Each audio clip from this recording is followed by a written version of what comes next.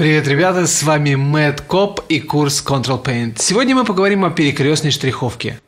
Прежде всего, что такое перекрестная штриховка? Это очень эффективный и быстрый способ наложения тона. Если у вас нет в наличии красок, но вам нужно наложить тени, то вы можете воспользоваться несложной техникой перекрестной штриховки. По мере того, как вы наносите карандашом друг на друга одиночные штрихи, они начинают формировать тон или валер – если вам нужно подчеркнуть перпендикулярные линии и наложить сетку, то вы можете использовать штриховку в перпендикулярном направлении. Чем плотнее и ближе друг к другу вы кладете штрихи, тем темнее становится тон. Это был пример перекрестной штриховки. А теперь поговорим о том, как использовать эту технику эффективно. Итак, у меня есть контурный рисунок груши и указано на то, как падает свет. Но тени еще не наложены – чтобы наложить их, я воспользуюсь перекрестной штриховкой. Самый простой способ – наложить друг на друга вертикальные и горизонтальные линии, чтобы получилась тень. Но такая штриховка делает рисунок плоским. Хотя эффект тени возникает в результате использования этой техники, но сама тень никак не помогает зрителю ощутить объемность изображенной груши. Поэтому важно не просто наложить штрихи в соответствующем месте, но и наложить максимально эффективно. Так зритель сможет увидеть не только светотень, но и ощутить объем фигуры, и это один из важнейших плюсов перекрестной штриховки.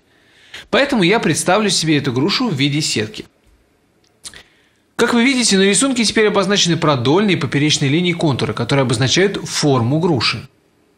Эту форму я себе и представляю, когда смотрю на объект. Эти контуры я буду изображать в процессе штриховки, чтобы передать зрителю схожее ощущение объема. Итак, я снова наношу перекрестные штрихи, но в этот раз я согласую их с формой сетки.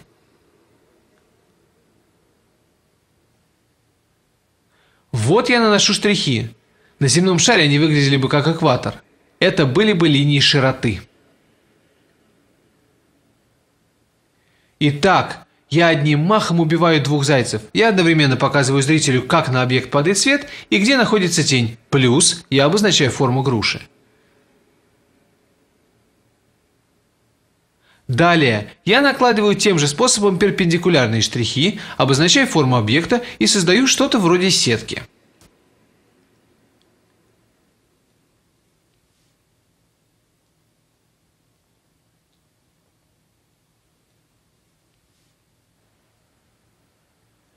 В отличие от обычной сетки из вертикальных и горизонтальных линий, моя сетка повторяет форму груши, что очень важно для правильного восприятия рисунка. А когда я изображаю отбрасываемую грушей тень, то использую прямые штрихи, так как они падают на стол с ровной плоской поверхностью. Но вот тень вокруг нижней части груши снова начинает искривляться, опять же из-за формы объекта. Как вы видите, перекрестное штрихование – это очень простая техника, которая позволяет быстро показать валер и форму объекта. Она отлично подходит для создания набросков, для работы в поле, когда нужно быстро создать образ или эскиз. Но, как вы могли заметить, этой технике не хватает законченности. Поэтому пока что потренируйтесь и поиграйте с техникой перекрестной штриховки, но будьте готовы к тому, что в будущем мы усложним эту технику, начав работать с красками. Спасибо за внимание. Желаю приятно провести время упражняясь в перекрестной штриховке.